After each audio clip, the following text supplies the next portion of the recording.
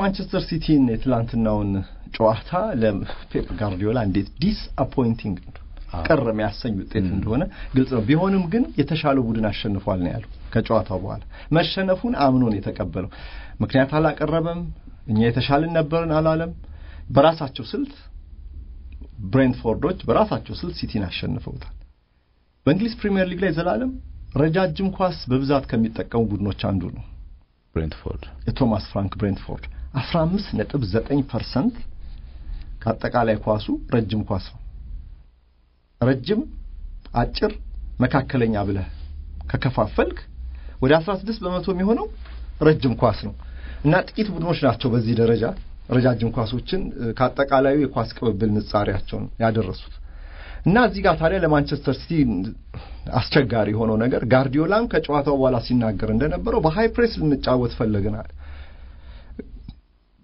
ግን ብሬንትፎርድ ፕሬስ የሚደረግ አይደለም። ለምን high press እንድትጫወት ተጋጣሚ ኳስን ከኋላ መጀመር አለበት።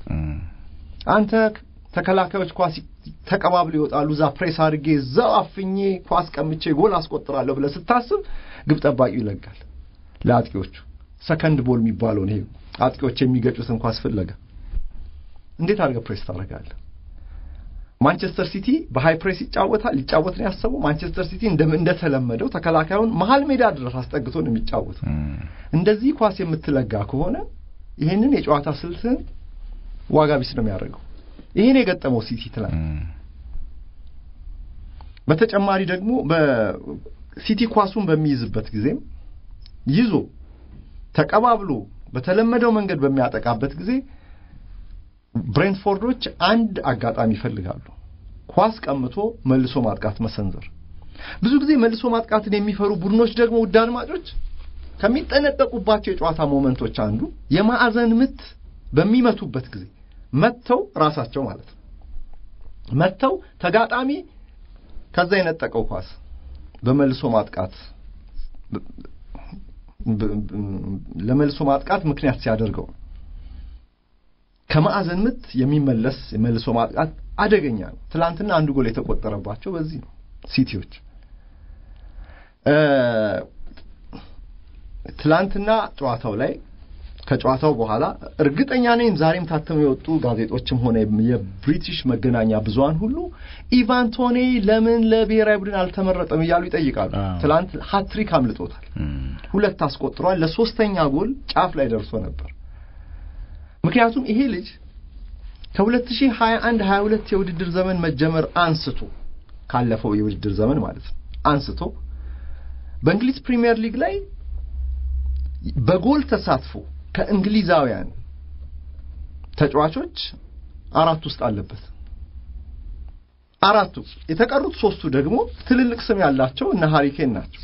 የጎል ተሳትፎ ስላችሁ ጎል ማስቆጠር ብቻ ሳይሆን ለጎል የሚሆኑ ኳሶችንም መስጠት፣ ጎል እንዲፈጠር ምክንያት መሆን፣ የጎል እድሎችን መፍጠር ማለት አይደለም። ጎል እንዲፈጠር ጎል እድል መፍጠር አንድ ነገር ነው። ጎል እንዲሆን ደግሞ የሚሆኑ ኳሶችን መስጠት ሌላ ነገር assist አለ፣ chance created አለ አይደል? assist second assist ም በሉ በተጨማሪ ጎል ማስቆጠር፣ በእነዚህ ሁሉ ከማንም አያንስም። ሃሪ ኬን፣ ቡካዮ ሳካና ጄምስ ማዲሰን እነዚህ ናቸው ዝርዝር ውስጥ ያሉት። እንግዲህ በእንግሊዝ ፕሪሚየር ሊግ ከእንግሊዛውያን አሰልጣኝ ማን ነው ከእንግሊዛውያን አጥቂዎችና አጥቂ አማካዮች ተርታ ማለት ነው። እና ዘንድሮም እስከ ትላንትና ጨዋታ ድረስ በአስራ ሶስት የፕሪሚየር ሊግ ጨዋታ ስምንት ጎል አስቆጥሮ ሁለት assist ነበሩ። ትላንት አስር አደረሰው ማለት ነው። ለምንድን ነው ታዲያ ካለም ዊልሰን የተመረጠው በሱ ቦታ? ኒውካስል ዩናይትድ ካለም ዊልሰን፣ ማርከስ ረሽፎርድ እና ሃሪ ኬን ናቸው የተመረጡት። አንድ ነገር ልንገራችሁ አድማጮች፣ ብሬንትፎርድ ለእንግሊዝ ብሔራዊ ቡድን ተጫዋች ካስመረጠ ስንት ዓመት ሆኗል መሰላችሁ? በ1933 ያስመረጠ እና ለኔሽንስ ሊግ ይሄ ልጅ እንግሊዝ ከጀርመን እንግሊዝ ከጣሊያን ለነበረባቸው ለነበረባት ጨዋታ ተመርጦ ነበር፣ ተጠርቶ ነበር፣ አልተጫወተም እንጂ። ያን ጊዜ በብሬንትፎርድ ማህበረሰብ ውስጥ የፈጠረው ደስታ የተለየ ነበር። አንድ የብሔራዊ ቡድን ተጫዋች አወጣን ብሎ ከትላንትና በስቲያ ታዲያ እንግሊዝ ብሔራዊ ቡድን ተጫዋቾቹን ምርጫ በሚያሳውቅበት ጊዜ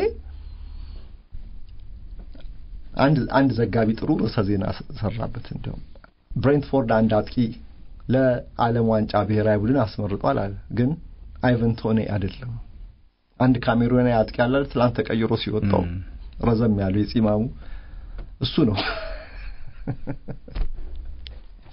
እና የብሬንትፎርዶች ህልም በዚሁ ነው የተጨናገፈው። አንተ እኮ ትላንትናም በጨዋታውን ስናስተላልፍ ይሄን ነገር ሳነሳ ነበረ። ብሬንትፎርድ ማለት የአድዋ ጦርነት ሊደረግ ስድስት ሰባት ዓመት ሲቀረው የተመሰረተ ክለብ ነው። ጥንታዊ ክለብ ነው። ብዙዎቹ ክለቦች ብዙዎቹ professional ክለቦች በዛ አካባቢ ነው የተመሰረቱት። እንደሚታወቀው የራሳቸው ታሪክ አላቸው። የራሳቸው የሆነ ታሪክ፣ የራሳቸው ባህል አላቸው። እያንዳንዱ እግር ኳስ ክለብ እንዲያውም የሚጠቀምበትን ባጅ ትርጉም የያዘ አንድ አንድ መጽሐፍ ሳገላብጥ ነበር እና ብሬንትፎርድ የሚጠቀምበት ንብ እንደ ሌሎች ንቦች አይደለም። ሰራተኛ ንብ ሰራተኞች ነን ለማለትም ይመስላል፣ ታታሪዎች ነን ለማለትም ይመስላል። ግን አይታችሁታል፣ አራት እግር ብቻ ነው ያለው ንቡ። ከዚህ ይጀምራል ታሪካቸው። እሱ ውስጥ አልገባ ግድ የለም አሁን አስፈላጊ አይደለም። ግን እንደው ለእኛ በፕሪሚየር ሊግ ደረጃ ትኩረታችን ሁሉ በ top four top six ላይ ስለሆነ እነዚህ ትንንሽ ክለቦች ታሪክ የሌላቸው ከመሰለን ተሳስተናል። በ1889 May ወር ላይ ነው የመጀመሪያውን የነጥብ ጨዋታ የተጫወተ ይህ ቡድን ይህ ክለብ የመጀመሪያውን ቡድኑን ያቀረበው እና እንዲህ ከትውልድ ትውልድ ሲሸጋገር የኖረ በውጣ ውረድ ያለፈ ነው። እንደ ትላንቱ አይነት ታዲያ እዛ ኤቲሃድ ላይ ሄኖ የወቅቱን የዓለማችንን በለው የአውሮፓን በለው የእንግሊዝን በለው ብቻ እንደ ሰው ግምት ትልቁን ቡድን በዚህ መልኩ አሸንፎ ከዋንጫ ፉክክሩ እንደው ባያስወጣውም ግን በነጥብ ከመሪው እንዲርቅ ማድረግ ማን ነው ይሄን ያደረገው ይባል ብሬንትፎርዶች ናቸው ነው የሚባል።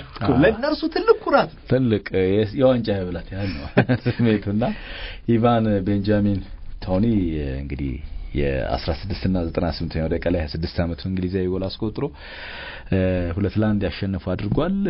ያው ብዙዎችም ይሄ ልጅ የብሔራዊ ቡድን አለመመረጡ በጋሪት ሳውዝጌት ላይ ይሄ ብቻም ሳይሆን በጣሊያን ላይ ጥሩ እንቅስቃሴ እያደረገ የሚገኘው ጣሊያን ሴሪያ ላይ ፉካዮ ቶሞሪ አለመመረጡ ብዙዎችን አስከፍቷል። በተለይ ማጓየር ብዙ ጨዋታ ሳያደርግ መመረጡ ሚዛናዊነት ይጎለዋል። አዎ ነገር ሲነሳ ሰማለሁ። ከጥቁር ጋር የሚያያይዙት ነገሮችም አሉ። እንደውም እዚህ ጋር ግን በተለይ አይን ብናየው ጥሩ ነው። እዚህ ጋር ጥሩ መልስ እኔ አልመልሰው። ቆይ ቶማስ ፍራንክ የብሬንትፎርድ አሰልጣኝ የመለሱት መልስ ለዚህ ጥሩ መልስ አሳማኝ ሆነ። ሂደቱን አምነን መቀበል አለብን አሉ። እንግዲህ እሳቸው ካደሉም ያደሉት ለአይቨን ቶኒ ነው መመረጥ አለበት ብለው የራሳቸውን ተጫዋች አይደለ ለራሳቸው ነው መከራከር የሚገባቸው። እሳቸው ግን ነው እንደ አሰልጣኝ አሉ ይገባኛል። አንዱን አንስተ አንዱን ስትጥል አንዱን መርጠህ ሌላውን ቸል ስትል ምክንያት አለ።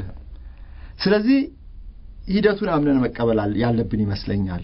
እንደ አሰልጣኙ ሀሳብ ነው የተጫዋች ምርጫ እስካሁን ድረስ በእንግሊዝ ብሔራዊ ቡድን የእስካሁኑ ዝግጅት ውስጥ አይቨን ቶኒ አንድ ጊዜ በተጠርቶ ሳይጫወት ከመቅረቱ ውጪ ተጫውቶ የዝግጅቱ ለዚህ ለዓለም ዋንጫ ለነበረው ዝግጅት አካል ሆኖ አልሰራም። ሌሎች ተጫውተው የሂደቱ አካል ሆኖ ሰርተዋል። ዘረኝነት አሉ አንዳንዶች። ዘረኝነት ስለሆነ ነው። ግን ደግሞ ካሉ ሚልሰንም ጥቁር እኮ አሱማ ቡካዮ ሳካ ማርከስ ረሽፎርድም ጥቁር ነው። ቡካዮ ሳካም ጥቁር ነው። የዘረኝነት ጉዳይ እዚህ ውስጥ አይገባም። ነገር ግን ቦታው ውስን የግድ ነው። አንዱን አንስተህ አንዱን መጣል አለብህ እና እዛ ጋር ሃሪ ማጓየር ጋር አብረው ቆይተዋል። ሳውዝጌት ለሳውዝጌት አስቸጋሪ ነው ያለ ሃሪ ማጓየር ብሔራዊ ቡድኑን ማሰብ አሁን ለዚህ እኮ ነው ይሄ ሁሉ ትችት እየገጠመው እሱን እሱን የመረጠው። በ tournament ላይ ዩሮ 2020 ላይ ይዞት ነበር። አሁንም በወዳጅነት ጨዋታዎች ላይም እየታማም እየመረጠ ያጫውተው ነበር። በዚህ ነው የተዘጋጀው እና ያለ እርሱ አሁን ነገሮችን እንደገና ሀ ብሎ መጀመር ይሆናል። ሌላ ተጫዋች ደግሞ የምትከት ከሆነ የምትቀላቅል ከሆነ እና ይሄ የዓለም ዋንጫ ነው። የእስካሁኑ ዝግጅት ሁሉ የሚታይበት ዋናው ሰርጉ ይሄ ነው። እዚህ ላይ መውደቅ የለብህም። ለነገሩ ለነገሩ ለነገሩ ጋሬት ሳውዝጌት ይህንን ዓለም ዋንጫ አሸነፈ፣ አንደኛ ዙር ወጣ፣ መሰናበቱ አይቀርም አይቀርም። ያው ይጠብቃል እንግዲህ ብሬንትፎርድ ሊጉን ሲጀምር በኪንግ ፓወር ከሌስተር ጋር ሁለት ለሁለት ነው የተለያየው። በሁለተኛው ሳምንት ደግሞ ማንቸስተር ዩናይትድን በሜዳው በግሪፍን ፓርክ አራት ለዜሮ አሸነፈ። ሊድስ ዩናይትድን ደግሞ አምስት ለሁለት ተረመረሙ። ከዛም ብራይተን ሁለት ለዜሮ አሸነፉ። ከቼልሲ ጋር ዜሮ ለዜሮ ተለያዩ። መሪው አርሰናልን ግን ማሸነፍ አልቻሉም። በገዛ ሜዳቸው ሶስት ለዜሮ ነው መሸነፍ የቻሉት። ትላንት ደግሞ በኢቲሃድ ሲቲን ሁለት ለአንድ ማሸነፍ ችለው ንቦቹ የማንቸስተር ከተማን ነድፈዋል። ልክ ነው። የሰሞኑ ውጤቱ ግን ጥሩ ስላልነበረ ነው የትላንትና ውጤት አስደናቂ ሆነ። ለጋርዲዮላ ግን ይሄ ትልቅ እንቅፋት ነው። እንቅፋት አዎ፣ የሚያስተላልፈው መልእክትም ጥሩ አይደለም ለሲቲ ተጫዋቾች። የሁሉም አሰልጣኞች ጭንቀት የነበረው በጥንቃቄ ይጫወታሉ።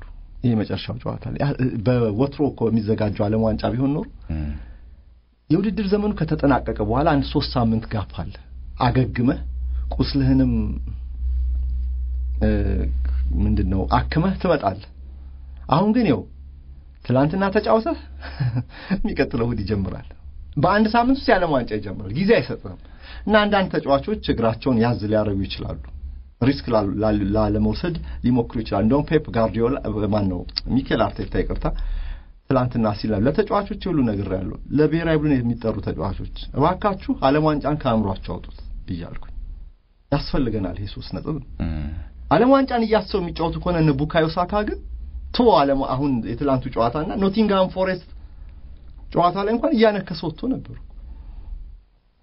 ትላንት ግራኒት ዣካ ላይ እንዳጋጠመው አይነት እንኳን አጥወለውለው ጉዳት፣ ስብራት፣ ውልቃት አይደለም የውስጥ ችግር ነው። አርሰናል ልምምድ ማዕከል ውስጥ የምግብ አለመስማማት ተፈጥሯል ራሱ አሰልጣኙ ሲናገር ነው። አንዳንድ ተጫዋቾቻችን በምግብ አለመስማማት ታመዋል አንደ ማስመለስ እኮ ሲለው ነበር ትላንትና ግራኒት ዣካ በኋላ ሲያነክስ አላየ ነው ማለት ወይ ሲታሽ አላየ ነው። እግሩ ሲያነጋግሩት ነበር። በኋላ አልቻልኩም ብሎ ወጣ። አልቻለም። አዎ አልቻልኩም ብሎ ወጣ። ግን ይሄ እንኳን ካምፕ ውስጥ የገባ ህመም ነው። ግን ዓለም ዋንጫን እያሰብክ ከሆነ እንደው ትንሽ ነካ ሲያደርጉ ተሰበርኩ እንዴ ዓለም ዋንጫ ቀረብኝ እንዴ እያልክ ነው የምትጫወተውና ለአሰልጣኞች አስቸጋሪ ነበር። ሲቲ ላይ ይሄ ተጽዕኖ አድርጓል እርግጠኛ አይደለሁም። እርግጠኛ ነው ብዬ መናገር አልችልም።